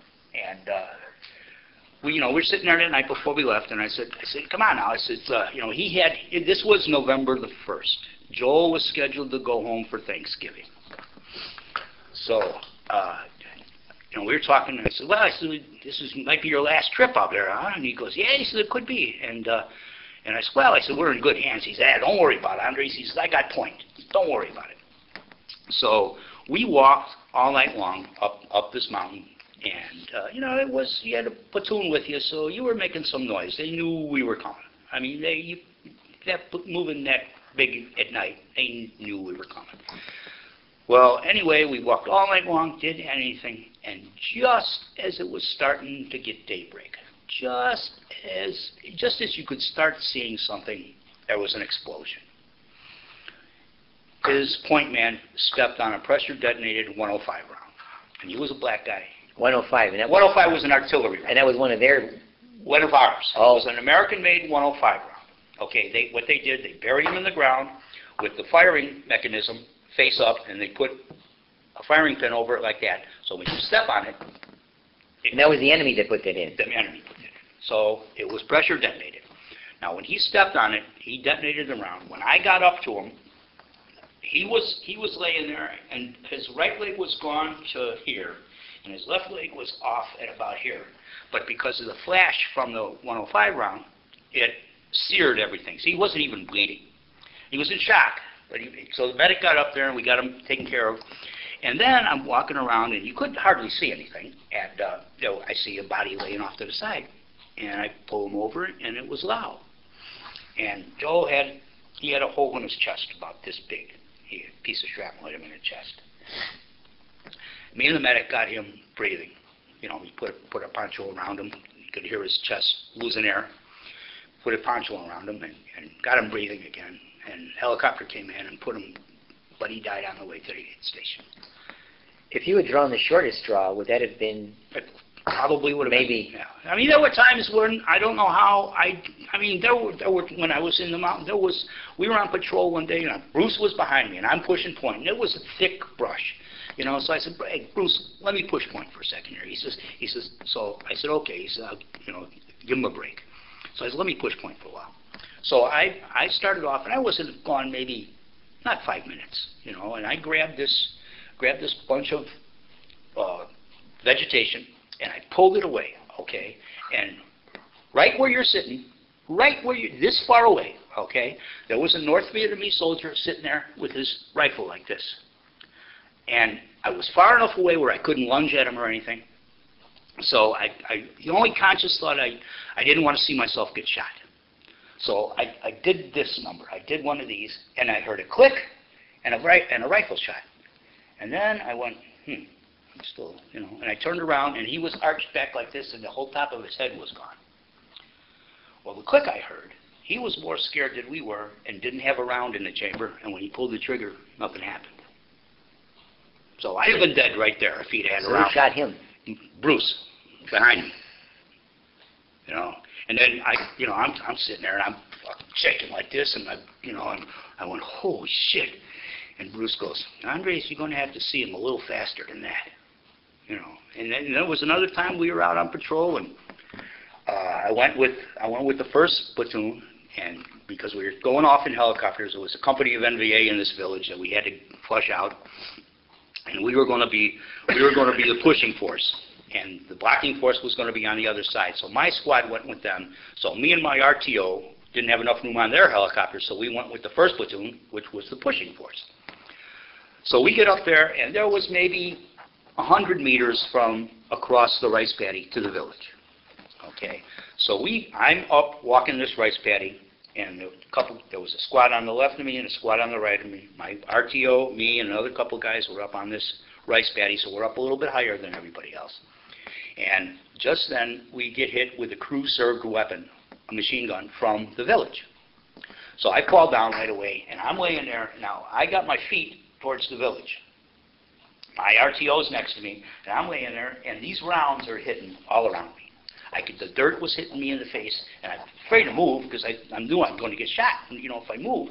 So I'm laying there, and, the, and the, it's going bing, bing, and the rounds are hitting all around me. And then finally he stopped shooting. Now, whether he ran out of ammunition, whether his gun jammed, I don't. We never returned fire because he had us pinned down. So I turned around and I'm, I, I, I went, Mac. I said, my, Mac was my RTO. I said, Mac. I said, I said, you okay? And he goes, yeah, Andres, I think I'm okay. And I said, and then all of a sudden my, my leg was wet. And I went, oh, fuck, I shot my leg. You know, and, and I could feel it was hurting. My leg was hurting. I said, oh, fuck. I said, Mac, get me, get me a medic up here. Will you? I, I'm hit. And so he calls back and he wasn't getting anything. You know, his, his radio wasn't doing anything. I said, Mac, I said, I said, did you did you change that battery in that radio? And I grabbed the radio on his back and I pulled it like this. And when I pulled the radio, he was hit four times in the radio. He had the radio on his back, and he, there, there were four rounds in the radio. You know, and I went, Mac, are you sure you're okay? And he goes, Yeah, I think so. And I and so just then another couple guys came up to me, you know, and he come a guy come over to me and I said, I, said, I think I'm hit, man. I said, get the get the medic up here. So medic came up and medic rolls me over and he gets down and all of a sudden he, I'm laying there. and I'm going, Doc, I don't even tell me how bad it is. Just fucking bandage me up and get me out of here. And he goes, uh, and he starts laughing. You know, I was like, what are you laughing about? He goes, Andres, he says, uh, he says, your leg's okay. He says, but this orange is fucked. I had an orange in my side pocket and they shot the orange in half. so that was another close call. But I mean, there were And the, the radio man, was he okay? Radio man was okay. It- the sounded him- the, the the radio saved his back And he was being fired at with, uh, with with a with a probably a 51 millimeter uh, machine gun, a uh, uh, Chinese made weapon that they had. this area where you're doing this um, very systematic repeat surveying and Yeah, uh, doing patrol, running patrol. yeah, what what strategically what's what's that accomplishing for the for the Well, for the effort at that It's time? making, letting them know that we're there, so they cannot come in here and use this area to build up their strength. Ah, okay? okay. Because when they were, they they couldn't, they couldn't muster up any more than five, six guys because they we'd see them right away. There was so much Mm. air support, so much helicopters running around. We had so much patrols out there. We were saturating the places with patrols, and there were there were times we we caught a guy one time, and uh, the 173rd had a reputation of they were cutting off ears of dead gooks after they were dead. And we caught a guy one day, and he was a courier, and we had our Kit Carson scout with us, and he read the thing, and they were going miles out of their way so they wouldn't have to come to RAO because they were afraid in Buddha religion, if you lose part of your body, you don't go to heaven. So they were afraid they were going to lose their ears, so they would not fuck with us. You know, so that that's Why they did it sometimes. they well, they, you know, you couldn't. It was inevitable. Sometimes you you stumble on them. They were there. You know. It, that would have been something that a, an American soldier did. Yes, hmm. and, and it happened. I mean, it was it, it it happened, but I mean, there were it was you know there were My Lai could have happened every day, everywhere, because you were in a firefight, you walked into a village, there was nothing there but old men, old women and little kids. There were no army-age kids there. You know, so you knew all these people knew everything. They knew what was going on. They can't walk into your village and not know who's there or nothing. So, I I mean, war is terrible. It was just terrible. And, you know, the, and the first time I seen a guy cut a guy's ear off, I, I wasn't into that stuff, you know, and, and uh, first couple times I seen it, it was killing me. I couldn't sleep at night, and, and I had to go talk to the chaplain. You know, I said, Father, I said, I'm, you know, I'm a Catholic kid from Chicago. I said, I shouldn't be doing this shit. Yeah. You know, and he told me, he says, look, Andres, he said, you know, nobody knows I became an infantry soldier. He says, this is all part of it. I mean, it's, don't go, you know, you can't go killing people or just murdering people. He said, but, you know, just use your, use your mind, use your intelligence. He says, you'll get through it. He says, just use your, with your, your brain. Which I did. I mean, and, and there was a, you know, af- after, after Bruce got killed, I didn't care. I, didn't- I did not give a shit. So- Bruce on July 7th. July seventh, and you, you don't get out of the army. I didn't, I wasn't leaving until the following January. I Yeah. still had half my tour to go yet. So were you still in Vietnam all that time, Yeah. until January? Yeah, yeah, yeah, I didn't, that was. You had, a- you had a full year in the combat. And I was there all the time. We- And we were, we were in the field probably eighty-nine percent of the time. We- got to the rear area, rear area very infrequently, you know. We were in the field all the time, all So, the time. um, you never thought of making a career of the army? No, no, no, no, no. I was drafted. I just wanted to do my two years and get out. That was it. I just wanted to But get. you back. analyzed the training you received, I- and then I you got know it, more but that was just to save my ass. And you were a good officer, A non-commissioned officer. non-commissioned officer in Vietnam, but no, no chance of... No, I, no. It was, in fact, when I, when I went, I went up to the NCUA, we had a, I had a, a, a West Point graduate lieutenant, and we never got along, you know. He, we did things, he did things the wrong way, and he, he almost, he called artillery on us one time because he couldn't read a map, you know. And thank God I was watching him. I'm going, sir, are you sure you got this right? And he goes, yeah. I said, have him, have him pop smoke one time. Have him put a smoke round in there. And he popped, and that smoke round led right in the, if that was an HE round, he'd have killed all of us. You know, so me and him never got along good. Well, now it's getting down time where I'm getting ready to go home. And, uh, he wants me to take a patrol out. He says, there's a, a regiment of NVA up in the mountains. He says, take your five guys and see what you can find out. You know, and- I'm going, you know, I, so I, I told my guy, I said, look, I said, we ain't gonna go fuck with no regiment, you know, so we're gonna go out and hide, spend the night out there. And, uh, we'll tell the guys on guard out here, we're gonna be out here, you know, if you hear something, don't fucking fire us up, you know, we're gonna be out here. So anyway, he got wind of it, and this was on, this was in December. So he gave me an Article 15. Article 15 was, uh, uh, you know, a discipline action where you lose a stripe, you lose money. So December 2nd, I went down, I had to go to the colonel in the rear area, Colonel, Colonel Anthony Herbert. He's a famous guy, isn't he? He was a famous guy. He, Yeah. he was, he wrote that book, Soldier. Yeah, yeah. Mhm.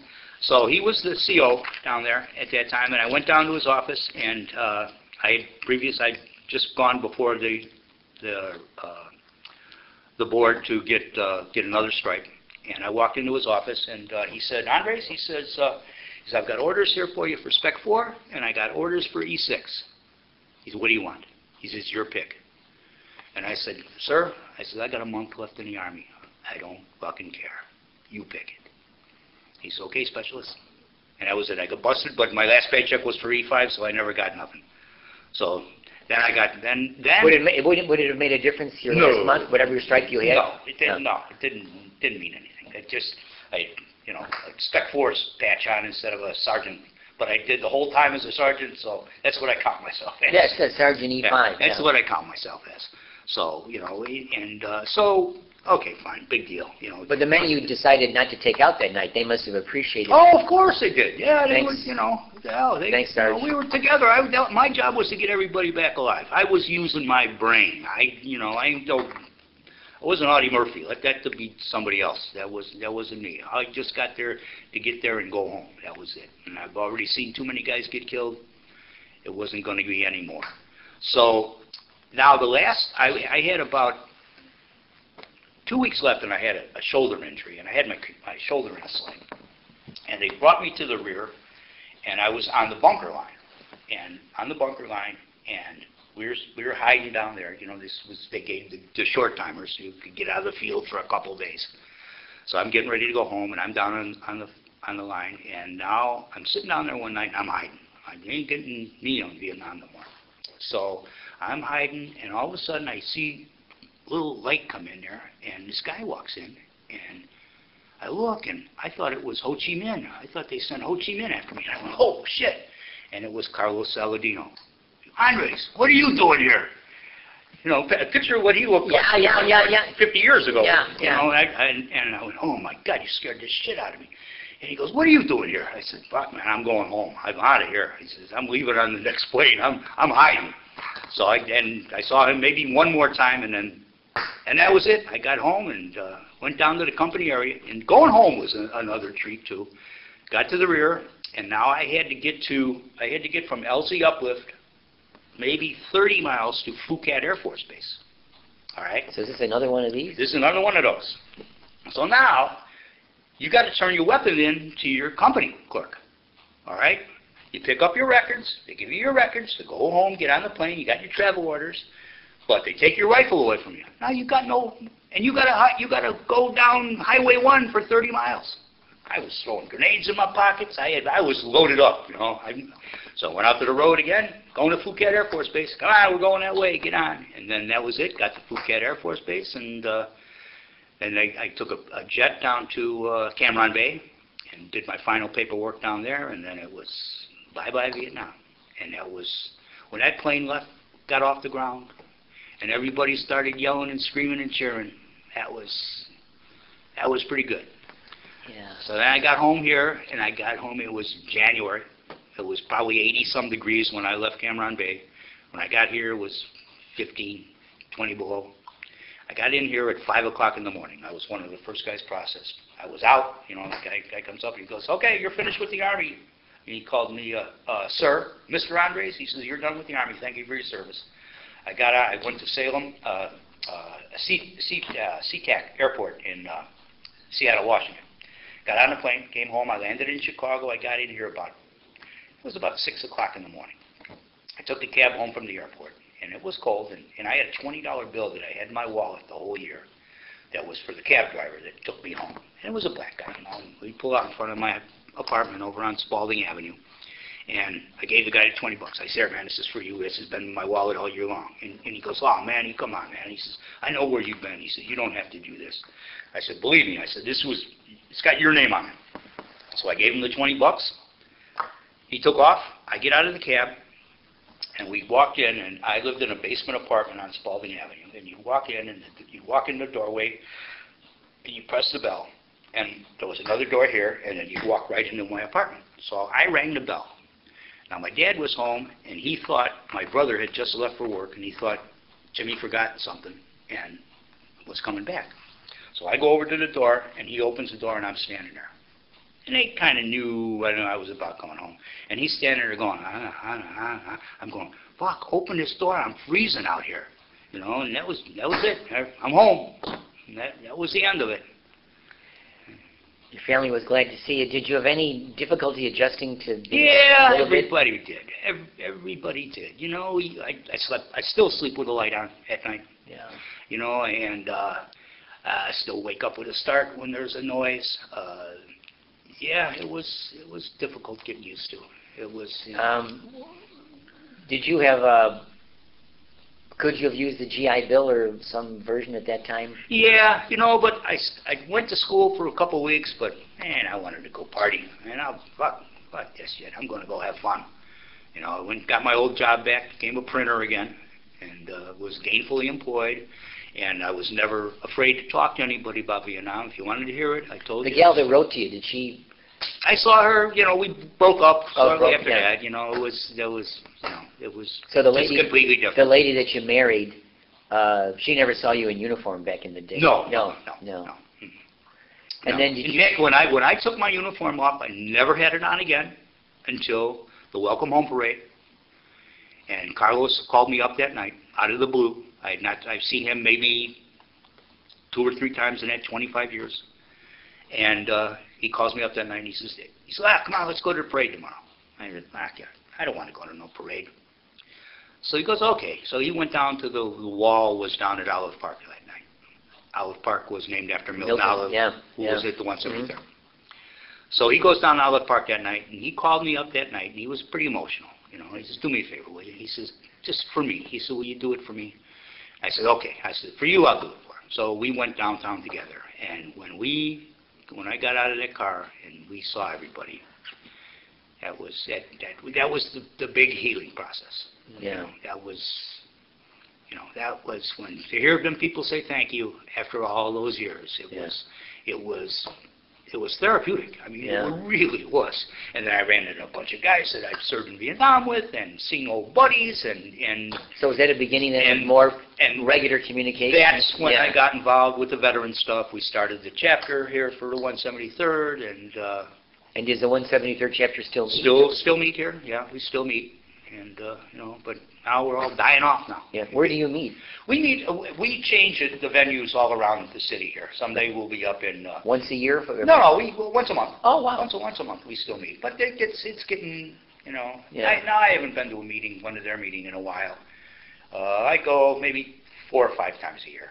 But, uh, you know, just to see the guys and that. But, uh, but then I go to Kokomo every year, and, uh, but I still get. I don't know Kokomo. Kokomo is a big Vietnam Veterans reunion down in Indiana. Ah, And this was the 36th anniversary this year. And I've been to 30 of them. And uh, I, you know what, Neil, I really, really noticed how old we were getting this year. The numbers were down. All the guys who were there could hardly move. Yeah. It was like civil, the old Civil War guys you saw going back for their reunion. So I am. that was it. That was my, you know, and, and then now with this healing process, then I reached out and got a hold of Bruce's family. I went, fo- found out where he was buried at. I went to his grave. beautiful. Yeah. I got in touch with Joel Lau's family, which with Joel Lau's family was kind of weird. Okay. How would we spell Mr. Lau's last name? L.A.U. L-A-U. L.A.U. Now Lau, he was a, he was from Minneapolis, and his dad was a Protestant preacher. He was a minister. So one day there was a, a blurb in the 173rd newsletter that, did anybody know the circumstances of the death of Sergeant Joel Lau, blah, blah, blah, November 1st, 1969. So I answered the newsletter, and I talked to this guy, and I said, I was with Joel when he got killed. And he says, well, he says, his mom and dad is still living. He says, do you mind if I give them your phone number? And I said, no. I said, by, by all means. You know. So one day I, had, I was working at a print shop out in Wheeling, Illinois. And I get a telephone call one day, and, and John Andres, and I said, yeah. And he goes, this is Mr. Lau. And I said, well, Mr. Lau, I'm glad to meet you. And he says, look, he says, me and the wife were driving through, you know, we're on vacation. He says, we're not too far away from you. Do you mind if we come by and talk to you? And I said, sure, come on by. So we talked. You know, he came over, we met each other, and we had a good conversation. He was very bitter about seeing his son, about having his son die, especially with a couple weeks left. You know, he says, he says the last time I talked to him, he said I went out and put a down payment on a house for him. Next day I got a letter, he's dead. He says it crushed me. He says, and another thing I'm pissed off about, his death caused my one son to be a drug addict. He says it fucked up my whole family, Vietnam. Vietnam fucked up my whole family. So we said goodbye. I said, when I get home tonight, I'll, I, all the pictures I've got of Joel, I put in an envelope and I sent to him. I never heard back from him. Now, whether he was mad at me or uh, he was pissed that I survived, but as years went by, and every year I put on the date of his death, I always put on Facebook now, say what you want about Facebook, I always put a remembrance of him. A couple years ago, I got a telephone call and she goes, are you the guy who does the remembrance of Joel Lau? And I said, yeah. I said, it's me. She goes, well, I'm married to his brother. And I said, oh, really? And she says, uh, do you mind if I have him talk to you? Because and he, nobody never knew the circumstances. So I, he called me that night on the phone. I talked to him, and I said, well, I said, if you want to hear the gory details, I said, I'll let you know what happened. And, and he said, yeah. And, I, and then I told him the story about meeting his mom and dad. And he said, you know, John, he said, don't take that personally. He said, my dad was a tyrant. My dad, none of the kids liked him. He says, "The reason Joel joined the Army was to get away from the old man." And that's what his dad blamed himself on for that. And he, he just, he hated everybody, you know? So that, he says, but, so don't take that seriously. He just, he hated everybody. It wasn't just you. Yeah. So, so that made me feel a little bit better. But I still, I still talk to him, and, Yeah. you know, you now it's coming up, now we're, in October, November first, it's Yeah. gonna be his anniversary. It's gonna be, uh, forty-nine years for him. Yeah. Have you been to the wall Oh, yeah, yeah, Yeah. I've been there several times. several times? And the honor flight And- is and coming up? It's coming up, I've, I've signed up for that. In fact, I went to the wall on the forty-fifth anniversary of Bruce getting killed. And I went to my wife and I said, you know what? I said, is forty-five years for Bruce, I'm spending the night with Bruce again. So I went down and got on the Amtrak train, took the train to Washington, didn't even get a hotel room. I went down there, I sat at the wall, and started getting dark. I went and talked to the guy at the wall, and I said, you know, I said, told him what, what I was doing. I said, I want to spend another night with my buddy. And he said, well, he said, you know, it gets pretty dark down here. And I said, yeah. He says, he says, nobody will fuck with you. He says, just go sit, sit down there. He says, he says, the police will come by, you know, come by, check on it a couple times. So uh, I went down, I sat down there, and I sat down by, by his name on the wall. And, and about 2 o'clock in the morning, I, I started getting tired. So I rolled over in the grass, and I pulled my poncho liner up over me, and I was laying there. And I fell asleep. And then I, all of a sudden, I hear some noise, and there were two bicycle policemen coming down the wall. So I just kind of stood there, and they rode right by me, never saw me. I still got the same Yeah. I had to think I of that. still got it. No, I still didn't see me. Oops, we got it, yeah, yeah. So it was, it, that's, so, and I plan on doing that now for his fiftieth, the fifties next year, so Yeah. next year I'll go back again. I, I sense we're coming to the end of the interview. There's always two questions that we'd like to put to the Sure. veterans. Uh, how do you think your military service and experiences affected your life? Well, for, the one thing I always tell everybody, it taught me how to appreciate life.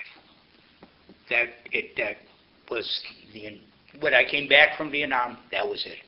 Every moment I wake up, every day, every, every time I look at the Grand Canyon, every time I go on vacation, I take, I got Bruce's poncho liner, he comes with me on every vacation. Uh, it, it makes me appreciate life. That's a powerful So lesson. It yeah. is, it, it, Yeah. it, it is. Yeah. It is. And, I- you know, I mean, I knew this guy for six months out of my life, Yeah, but and he made that impression on me, yeah. you know. Mr. Andres, how do you think your military experience uh, influenced your thinking about war or about the military in general?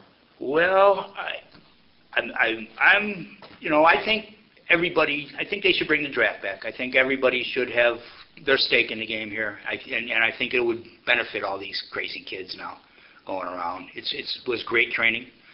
I don't know if I'd ever do it again. I don't know if I'd want my grandson to do it, but I am proud to say that I'm a Vietnam veteran, and, and it was great training, and I met some great guys. So that was, that's it. That's. Well, thank you for a wonderful uh, interview and for sharing the combat experience. It was good. Thanks for. Uh, yeah, It's very good to talk. It's always it's always good to talk about it. It's therapeutic, and uh, you know, it's it's like I say, it was the worst of times, but goddamn, it was the, it was the best of times too. Thank you for your service. Thanks.